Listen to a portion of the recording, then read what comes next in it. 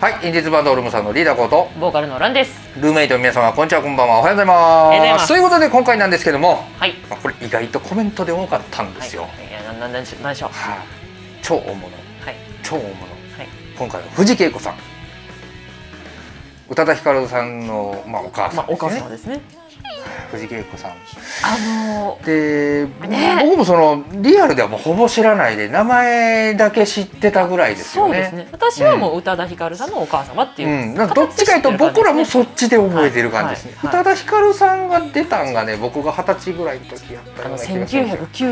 1996年か7年にデビューなんかそうでしょあの方そうですそうです、ん。で僕が二十歳ぐらいの時やったんで、あの時にその宇多田ヒカルさんっていうのが出てきてわあすごいの出てきたなとか思いながら、ね見てたんですけども、まあそのお母さん。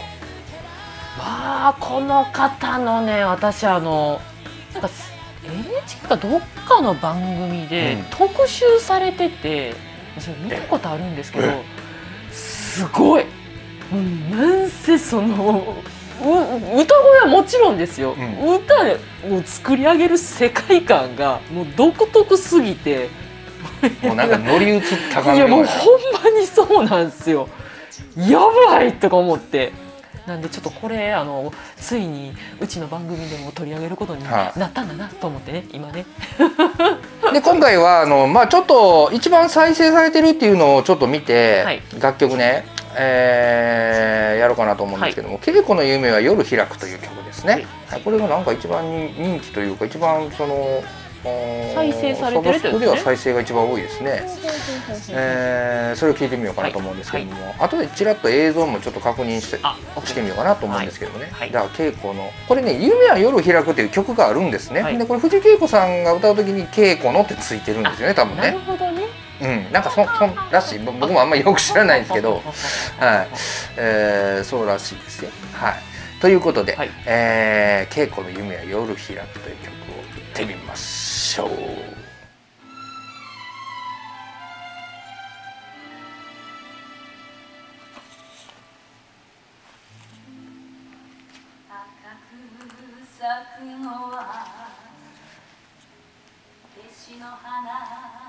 知ってるこれ。ゾッときた今。どうさ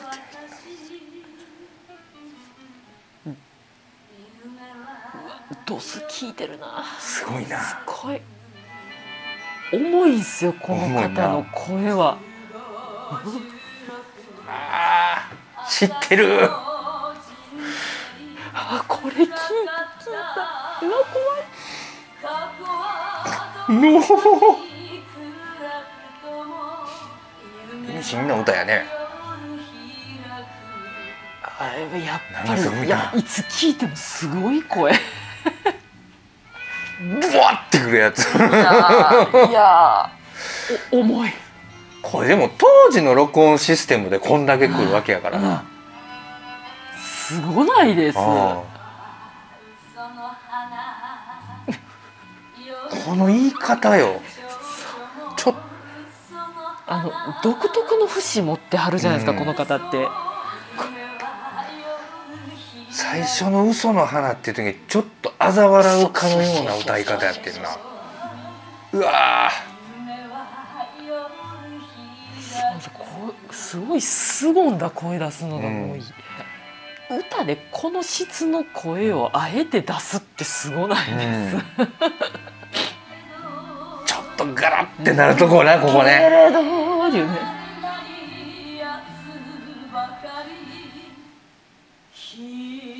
火がすごい。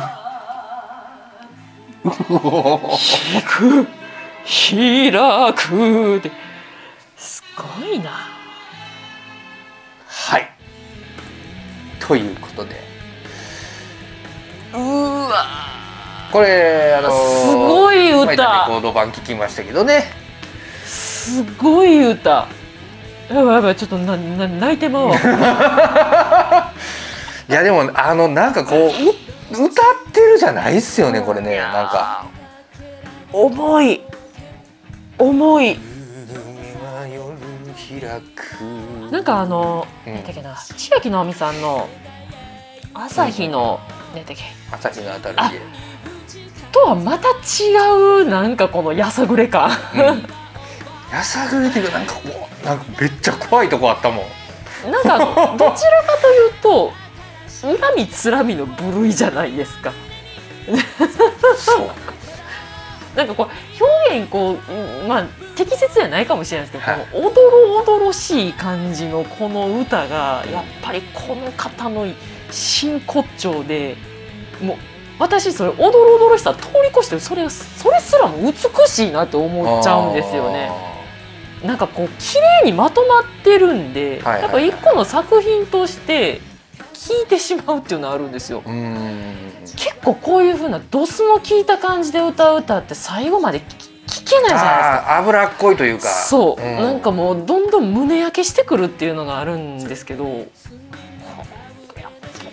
まいですよね。歌を歌ってる感じじゃないですね、あの、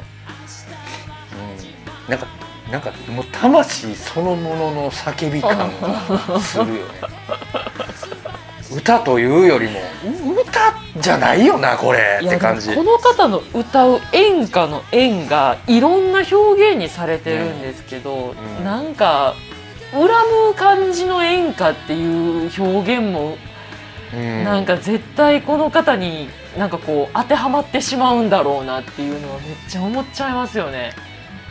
すげえな。ちょっとこれ別の映像で、はい、ちょっとあの別のね映像もちょっと確認したんですけども映像で見てもすげえな。むちゃくちゃ綺麗な人やなほんでこの人。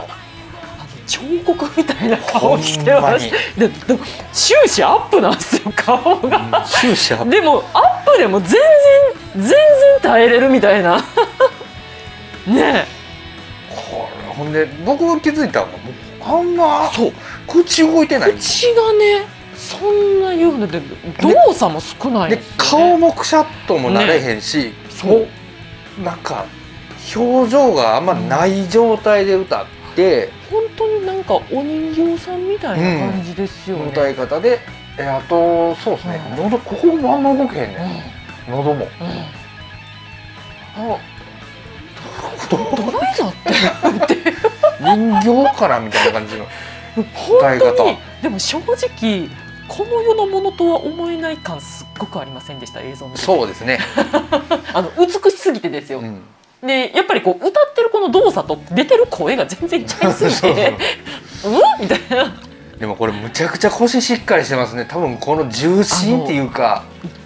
なんていうんですかこのどしって構えた感じがすごいですこよね。のね、うん。声ってここで出すんじゃなくてもう下から突き上げて出してる感あるでしょ腹に据えて歌ってるっていうのが、だから無表情で、ねこう口もそんなに開けんと喉もあんまり動かずに顔もほんま涼しい顔して歌ってますからね。なんかすごく甲高い声が出るかと思いながらうーんみたいな。なんかすっごい。これほんと夢っていう言い方が全部違うかったやろ。あのその歌詞のつながりですごくこう、ポジティブな意味での夢とそうそうそう。なんかもう今となってはもうこの夢はもうネガティブなんですっていうところの言い方とか、まあうん全然。ね。やっぱこう一個一個言葉の内容解釈深めていってやっぱり単語一個一個ね大切しにしながら歌ってらっしゃるんで、まあ、だから聴けるんだろうなっていう。いあろんな声色ありましたもんね。い。ろんな子あるよ聞いてこのこの一曲だけね。でいろんな子、だ同じフレーズがこれ重なるところが結構あるんですよね、うん。このだから「嘘の花嘘の花」の2番のね。まあそうですよ「ね。夜咲くネオンは嘘の花」って、えー夜飛ぶ蝶も、えー嘘の花」うん。蝶々も嘘の花っていう。この嘘の花も、えー最初の嘘の花と次の嘘の花言い方違うんですよね。最最初の嘘の花めっちゃななんかこうなんやろな悪魔の笑いのようななんかなんか嘲笑うっていうか悪魔の笑いのような嘘の花って怖っと思って。いやーだからあの本当にそのなんですかね2番のうん。ところの夢はなんか花開くっていうところはすごくこうなんかこう可愛らしい感じで夢っていう感じで言ってたんですけど、うんね。この次の3番で出てくるゆ夢開くの時はもう 夢みたいな感じでもうすごい怖い夢になってますけど大丈夫ですか？みたいな。でもこれ完全にその、まあ、歌というよりもなんかもうその世界っていうかいやーね。この方のやっぱり演じてる感じがすごいですよね、世界の表現してるっていうか。歌歌ってるっていうよりかは。ね。っていうかもうこの歌ってる時は自分がそうなんでしえうょ、んはうん。もうもうなんかその、うんこの歌の主人公になりきってっていうのと、い、やっぱこの独特の節回しすごくないです？この妙な「間」とかちょっとここ詰めて歌うとか。ちょびっと巻き舌のところとかね、うんうん、いやこれすごいな。節が私もう聞いてて思ったのが美空ひばりさんばりの表現力ある方なのかなと思ったんですよ。あの美空ひばりさんもなんか曲によって全然表情違うじゃないですか、うん違う違う、歌が。うん。ただなんか自分の節はちゃんと持ってらっしゃるっていうのがあるので、なんかこれ一曲聴いただけでもなんか藤圭子さんの独特の節はありつつも多彩な表現をされる方なのかなってすごく思ったんで、ちょっとかすれるところが。これほんであの宇多田ヒカルさんにええとこもろたよねと思う。そうわかるわかる。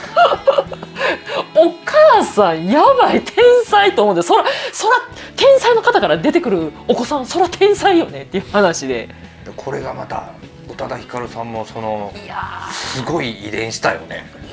部分遺伝がすごいなと思って、うん。まあ、お顔もそうやし、うん。その歌声までおよかっねたすごいなと思う音わ。楽のその感じ方もそうですし私も絶対この時代のその藤圭子さんがいらっしゃった時代のこの歌ってまあ異彩放ってたと思うんですよ。うんうんうんなんか唯一無二と言いますか、なんかこういうタイプの歌にはこの方ぐらいの感じのインパクトやばないです。すげえなみたいな。これねなんかあのほんまにねいや僕これここ持ってきて聞く前にまあリサーチで夜に聞くわけですよ。いやもうよ夜あかんこれ。あのね吸い込まれんねんこれ聞いてたらいやいやわかるわかります。空気感えに。わかります。なんか佇まいだけでも見てまいません。ってうわこれほんまにあの 飲み屋で流したらあかんやつやっていうやつまあでも飲み屋で一回やってみたいなねこの曲ね聴きながらちょっとお酒飲んでみたいけどなちょっと怖いもの見たさで、なんかこういろいろなんていうんですかしっぽり飲みたい時にはこの歌いいかもしれないですね。うん曲とともに一緒に悪いもん流そうみたいな。いやーものすごい世界観っていうかあのー吸い込まれちゃうのよねの声に同じ人絶対出ないでしょっていう感じですよね。だから本当あの藤圭子さんっていう、まあ、ちゃんとしたご自身のみのジャンルで歌ってらっしゃるんで、演歌って言われることあるんですけど、僕はね演歌でもないよなっていうのもあるしな。でもなんかあのシャンソンとかの要素ちょっと入って入ってるよね。うん。ちょっと跳ねたりとかもするそうよね。そうそうなんか、うん。だからこそ独特の節回しが出てくるんで、うん。だから私そこら辺が美空ひばりさんとつながるんであの方っていろんなジャンルの歌われるじゃないですか。そう えぐいっすね。ねまあとりあえずはい。藤恵子さんとりとりあえず入りはこのね夢は夜開く稽古の夢は夜開くというね、えーまあ、一番再生されてるやつをちょっと聞いてみました。はい、ということでまだあ引き続きいろんな曲聴いてみたいと思いますんでよろしくお願いします。ということでこれぐらいにして終了したいと思います。はい。皆様もしよろしければチャンネル登録の方よろしくお願いします。ではでは毎日見てよありがとうございます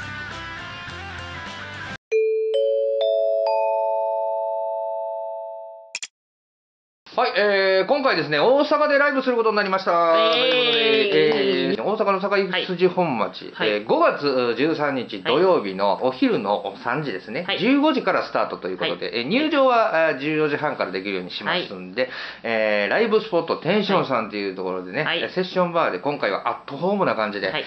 えーすごい距離近いっていうね、はい。ライブをやろうかと思います。はい、はい。概要欄とコメント欄の方からお持ち込みください。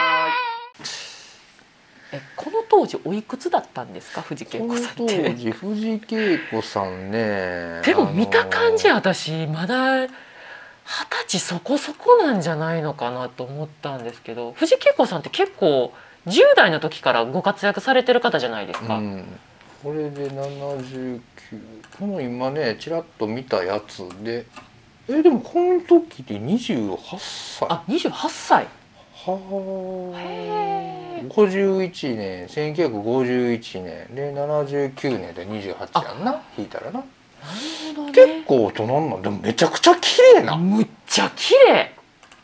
もっと若く見えるよね。私なんかもうあの二十歳前後ぐらいなんかなとか思ったんですけど。これ。やばないですこのお顔のなあ。投釈めっまちゃ綺麗。えでもやっぱりこれえさっきの映像がこのねあうん。28歳ぐらいじゃないですか。やっぱこれレコードの感じめちゃくちゃお若くないです？1970年。70年。でもこれ違う1970年ですね。うん。70年ですね。稽古の夢は夜開くっていうのが1970年、へえ70年か。70年ということはうーん19の時か。やっぱりみんな10代当時の10代やばいな。今今の10代とまあちょっと待って。比較してみようぜ。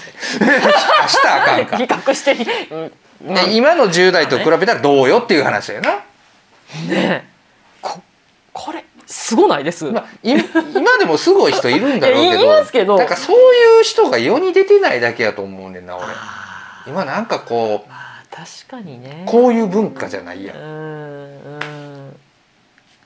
まあ確かに。いやだって持ってるエネルギー量すごくないです、うん。考えたら。なんかどちらかというと藤恵子さんってこう表にそれ全部出すっていうよりかはもう全部内に秘めてそれを増幅させて外にこぼしたものを歌ってらっしゃるっていう感じなんで、やっぱブルースとかもやってるでしょこれはね。女のブルースの後を受けて、えーあ前作から10週間連続オリコン1位にランキンランキングされた。それはすると思う。